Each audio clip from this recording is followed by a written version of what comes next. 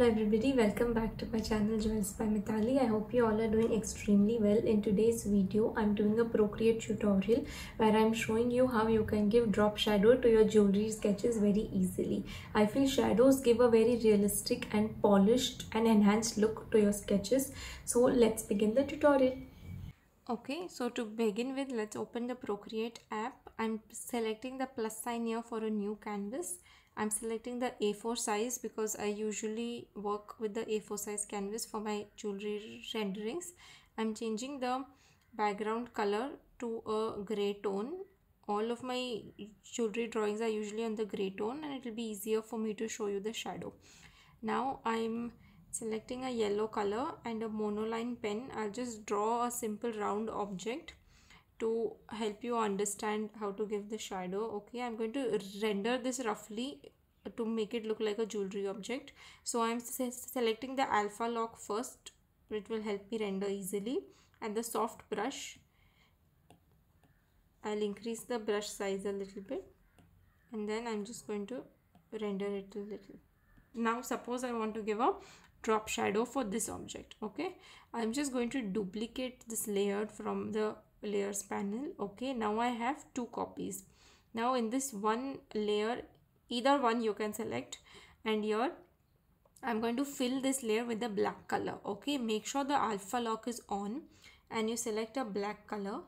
And over here you have an option of fill layer once I select fill layer you can see this layer has turned completely black. Now whichever color you select over here that color will be filled onto this layer. So make sure we select a black here okay? Now that this is done i'm going to remove the alpha lock in this layer okay?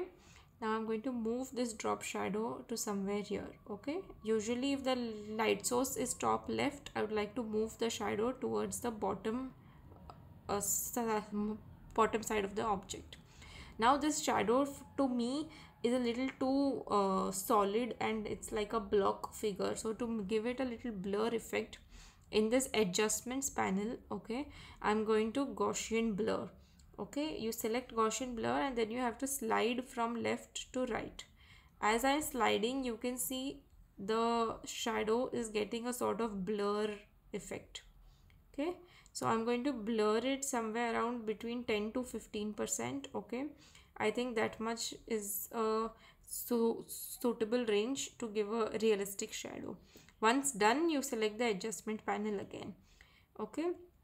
Now if you select this arrow tool here you can move the shadow around whichever side you feel like it works out okay?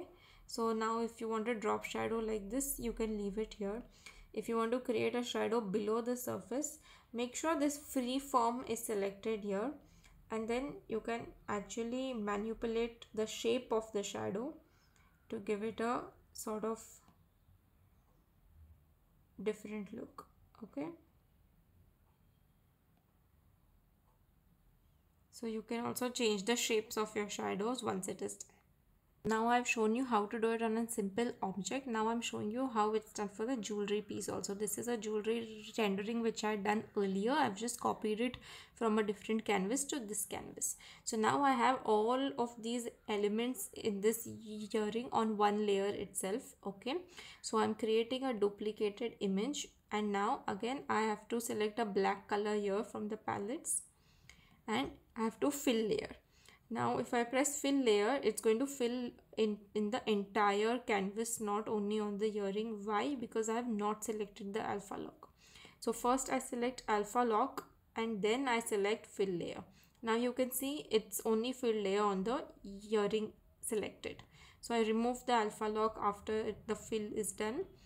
Again I'm going to drop it somewhere around here. Okay?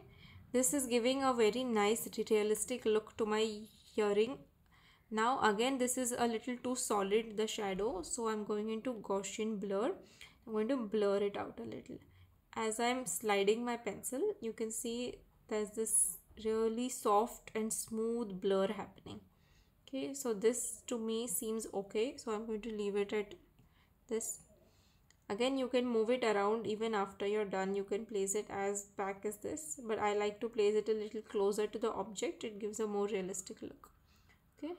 So this is how we create a drop shadow so that was it for this video. Thank you very much for watching. You can let me know in the comment section if you have any doubts or if there's a, any other topic you would like me to cover. I'll definitely look into it. Thanks again. Please like and subscribe to my channel and i'll see you in the next tutorial. Keep shining with jewels by Mitali bye